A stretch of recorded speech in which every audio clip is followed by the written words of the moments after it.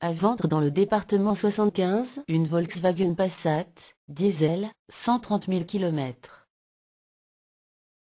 Millésime 2002. Le prix du véhicule est indiqué sur 321auto.com. Les coordonnées du vendeur figurent dans le détail de l'annonce. Retrouvez cette annonce sur 321auto.com en cliquant sur le lien dans la description.